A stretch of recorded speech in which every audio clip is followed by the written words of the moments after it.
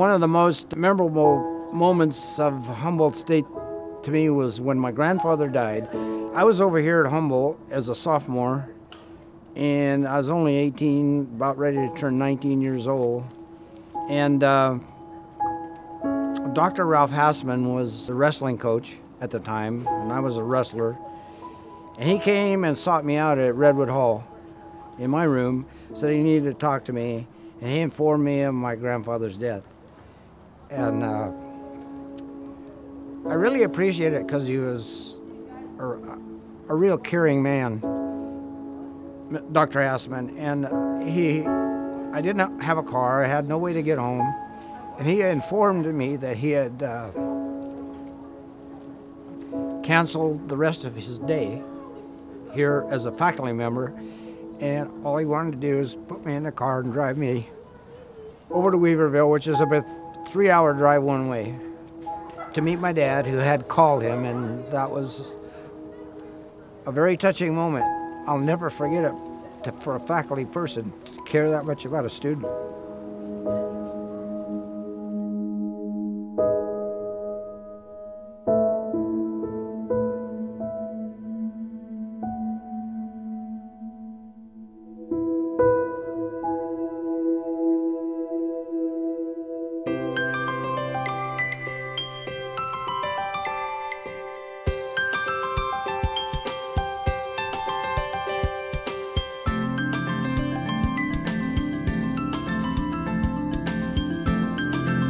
Humboldt State University is now 100 years old.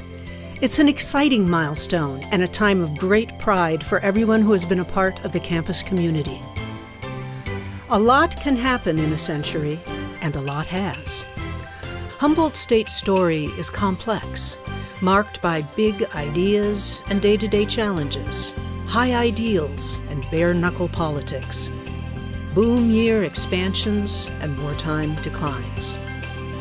At its heart, it's a story about thousands of people and thousands of dreams all coming together in one unique place. The story begins in late 1911 when local citizens started organizing to win support in Sacramento.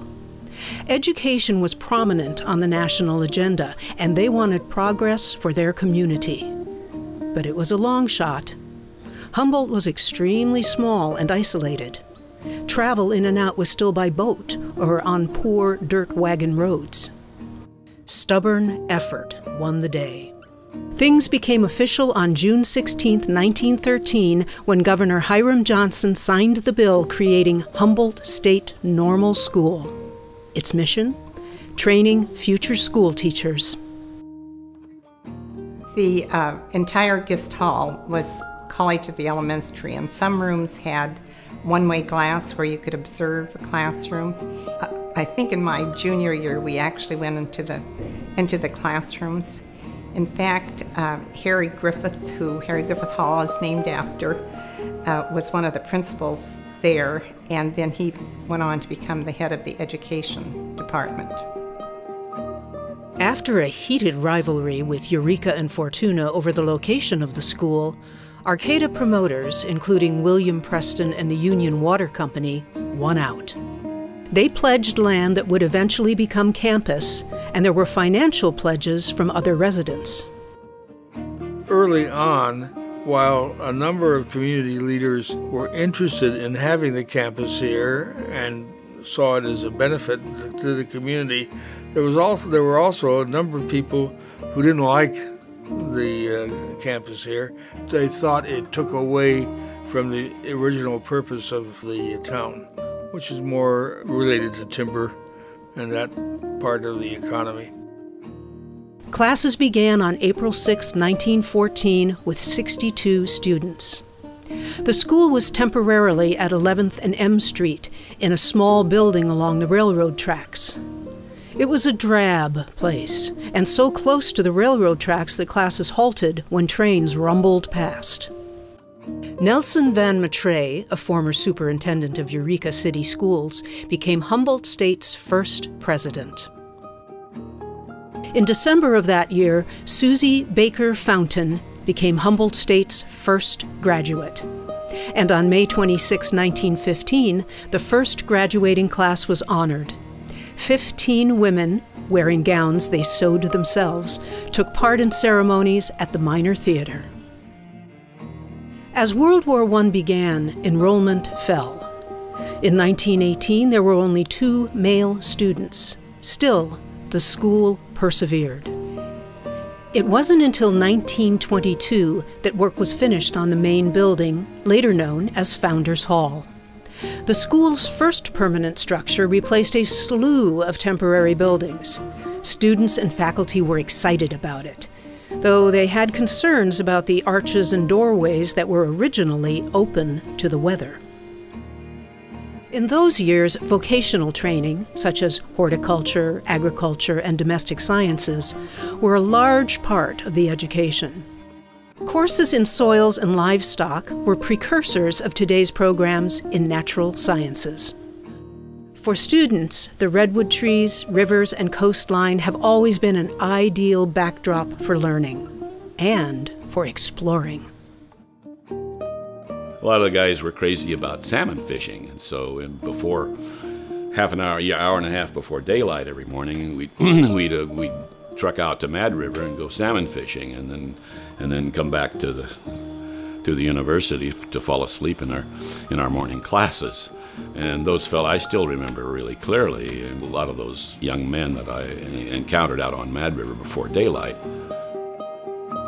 one student's letter home in 1927 extolled Humboldt's natural beauty while adding a lament about the university's many hills. It is true, is it not, she wrote, that gaining an education is uphill work? The ensuing decades would usher in periods of rapid growth, tempered by times of austerity and regrouping. Through it all, Humboldt maintained a strong sense of community that would come to define the campus. In the early 20th century, college professors usually maintained an air of formality, but not at Humboldt State Teachers College. I really enjoyed my professors. We uh, were few in number, so we just had we just were one big family. we all but pretty much knew everybody else. And uh, I think that was part of it that made it so special. Professor Horace Jenkins was a great example. For years, Pop Jenkins would cook soup and beans in a large iron pot on campus. It was the day's only warm meal for many students during the Great Depression. It was a time when there wasn't much money around, so I'm telling you, I lived on a dollar a week for food. That's all my dad could spare. And my roommate also brought about that much, but we bought brought things from home, of course. But you could buy hamburger for 15, 20 cents, carrots and spaghetti. and that's about what we ate. Never thought about being starved or hungry, or, although there are times when we'd sit in the cafeteria and use ketchup and hot water for soup. it was free. Pop Jenkins was among many fondly remembered faculty of the time, a group that also includes Homer Balabanis. Mr. Humboldt, who arrived in 1923 and worked closely with four Humboldt State presidents. For me and for the faculty, uh, Homer Balabanis was the visionary. He had a classical Greek education based on his knowledge of Socrates, Plato, Aristotle, he was highly influential. As the campus grew, that sense of camaraderie and cooperation deepened. The school's second president, Ralph Swetman, kept up the outreach to the community. He gave speeches, attended functions, and participated in service clubs, boosting Humboldt State's profile in the area. Students embraced campus life from the beginning, taking part in activities and establishing campus clubs. They put on the first school play in 1914, sending proceeds to help victims in war torn Europe. In 1924, the school created Associated Students, an alumni organization, and the first school newspaper, the Foghorn. The school also started Work Day, a tradition that continued for many decades. On Work Day, students and faculty would clean the campus and take on building projects. The day began with a pep rally and concluded with a dance late into the night. The dance started like 8 maybe or something, and it went clear until 3 o'clock in the morning. When they decorated for them, and we wore formals, and we danced cheek to cheek with our boyfriends. and the music, the music was like old 40s, or it was 30s actually. Big band was just coming on actually. The same community spirit later led to activities like all college picnics and then lumberjack days, still fondly remembered and missed by Humboldt alumni. They used to have uh, lumberjack days, which was an unbelievably fun activity. It would run for a week. It wasn't just for athletes or anybody. Matter of fact, I think it was just you know just everybody showed up, and it would be just packed. I mean, the whole weekend would be just full of crosscut saw, you know, the whip saw where you have teams and and log rolling. They used to roll the logs up in the pond behind the the uh, field house. Collegiate athletics, such as football, basketball, and track and field, added to the sense of school spirit my father, Earl Meneweather, came here in the 30s to play football. Dad was one of the first blacks to graduate, and I was one of the first to graduate from Arcata High. He was the first black in the Hall of Fame, inducted in 1955. Of course, I came along a little while later, but um, mom and mom came up with him, and um, there's pictures of them riding in the floats, and you know, he came back to Humboldt State in 1971 as Vice President of Student Affairs and Ombudsman. He loved this school so much that it was his first choice for everyone to go. One standout athlete, Elta Cartwright, qualified for the first women's U.S. Olympic team in 1928. When she returned after being eliminated in the semifinals, more than 15,000 community members gathered for a welcome home parade. She was one of five girls, and she was the tomboy of the girls. They all were teachers, all came to Humboldt uh, uh, Teachers College at that time, back in the late 20s, or mid 20s to late 20s.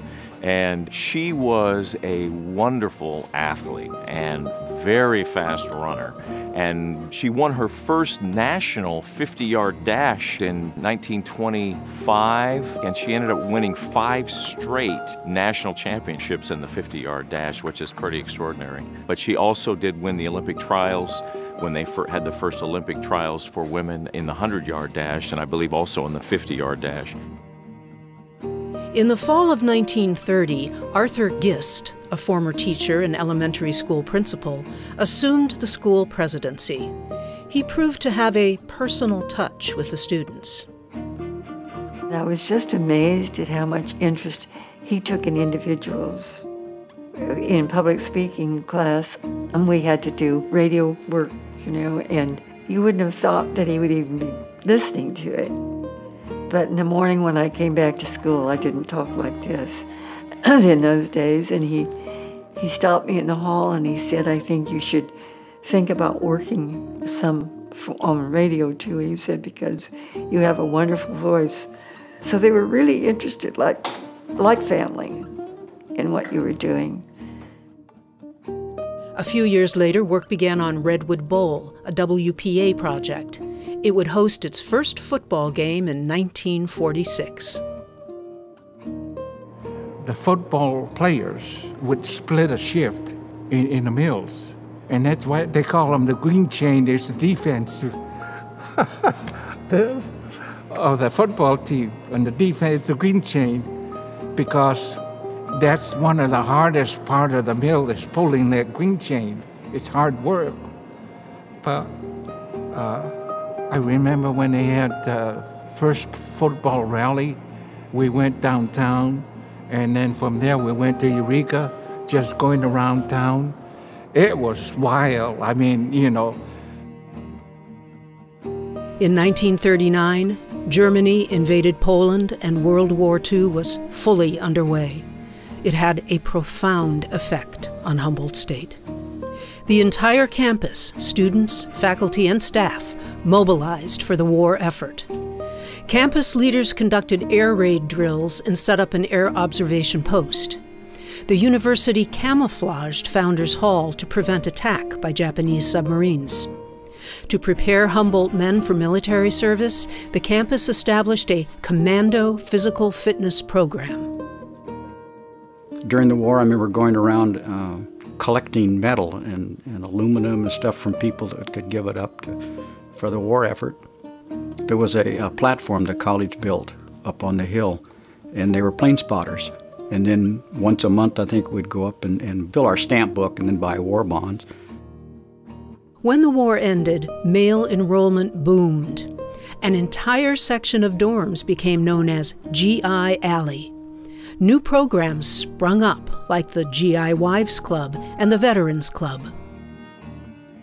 Well, the campus didn't have enough buildings. Uh, the GI Bill apparently was in full swing because engineering drawing, descriptive geometry, they, were, they all had drawing boards. And, and so on, all ready to go, but the college doesn't have a, have a place to put them. And what I ha- had to turn to is tell them to take their drawing boards home and spend the two hours that they should have had in a, in a drafting room. But very shortly, why, we got rid of that, probably within six months. There was a wooden structure south of uh, the main building, and part of that was part of a gymnasium. So they must have played basketball in there at one time, and that was the place I put, put the new drafting tables. So we were correcting the problems as fast as we could. In the late 1940s and early 1950s, the Cold War intensified, and there was fear about communism. For a time, Humboldt required graduates to prove their loyalty with a test on U.S. history and the Constitution. By the late 1950s, the Red Scare had subsided. Cornelius Siemens, a Russian born graduate of the University of California at Berkeley, became Humboldt State's fourth president. He would oversee a tremendous expansion of the college's campus. He was a builder. Facilities were his thing and finances were his thing.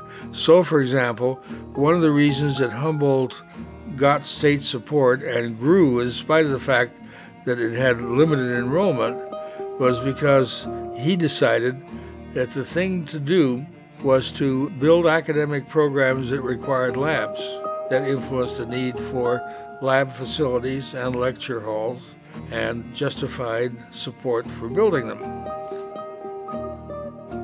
The late 1950s and 60s saw an anti war movement, a wave of feminism, and the fight for civil rights. Humboldt State students, faculty, and staff rallied behind various causes, setting the stage for an enduring commitment to activism and social justice. One incident in particular focused nationwide attention on Humboldt.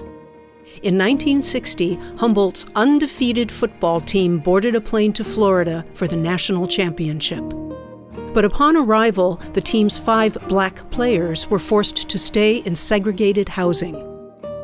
37 faculty members wrote an incensed telegram to the superintendent of public schools expressing their disapproval, and the whole thing caused a national uproar. I was shocked because I was in school at that time. And the way it was told to me was that the coaches went to the players and said, This is the story. This is what Florida's, the Magnolia Bowl is telling us. What do you want to do? We can stay here, not go. And I thought, well, that would have been a good choice. But of course, that put a lot of pressure on the players, all the players. And the players decided, as I understand it, that they would go. and they would live with those arrangements. And um, I understand that that's what they had to do, but that is a really sad situation. The 60s also saw the creation of the annual Humboldt Film Festival, the Clam Beach Run, the Humboldt Honeys Club, and miniskirt contests. After a 10 year hiatus, the Marching Lumberjacks reemerged, but this time as a scatter band. It was a time when certain student clubs became well known for their mischief around campus. The Intercollegiate Knights was a social honorary fraternity with a, a kind of an emphasis on social. So we sold the hot dogs at the football games. And I think we really got in trouble one time because Dr. Siemens' wife had gotten a hot dog without a weenie in it. So um, we, we got called on the carpet for that. I had forgotten all about that. That's that was we were always in trouble for something. Students protested the arrest of hippies and also rallied around issues like free speech. The campus established a free speech stump and encouraged engagement between students and local citizens. You could speak three minutes, but that was it, and we meant it. And some of the ones that were so sure they were going to dominate and take over the meeting, they got three minutes, period. And a couple of them got cut off completely. And, but we had given them the rules, and I liked one, the tradition of free speech, and anything can be said at Humboldt. Everybody got his or her say. In the late 1960s and early 1970s, opposition to the Vietnam War intensified on college campuses. At Humboldt, students held the largest demonstration in the school's history against the U.S. military incursion in Cambodia. Over 3,000 people gathered on the quad. We had been working on a play and we were getting close to opening. And at some point, somebody said, uh, Run up and get some coffee. We need coffee. And I said, I'd go. And I went out the other side of the building. And on the quad, the, the quad was filled with people. Um, and there was a microphone set up below the art on the art steps. And it was a massive thing. And we in the theater department had been just utterly unaware of it. So i went back in and i told my cronies that something was up and we all kind of shut down what we were doing and we came out. And that was a, a life-changing day. There were people on top of the buildings. Um, the crowd just kept growing and growing and growing. There were speakers and at some point in the day, several of the young men started burning their draft cards. Around the same time, the school underwent its fifth and final name change, becoming Humboldt State University in 1974. Humboldt's fifth president, Alistair McCrone, arrived later that year. President McCrone was very, very much a gentleman. He was almost always dressed in a three piece suit, even when he went to the basketball games. The one exception would be there was an annual faculty uh, formal party at which he wore his kilt. During his presidency, older campus buildings, including Founders Hall and the library, were renovated. Humboldt State's ethnic, women's, and Native American studies programs grew. Historically, Humboldt State University has been very innovative and started programs for American Indian students here. There were no other programs like ITEP. The Native American Studies Department was the first in the CSU system where students could get a bachelor's degree in Native American Studies. Humboldt's commitment to sustainability and the environment led to several important efforts. In the 1970s, faculty and students helped create the Arcata Marsh for wastewater treatment and as a wildlife refuge. It became nationally and internationally known and had visitors come from various other countries as well as different states to see how it was working. So it was quite an accomplishment and it's still functioning nicely.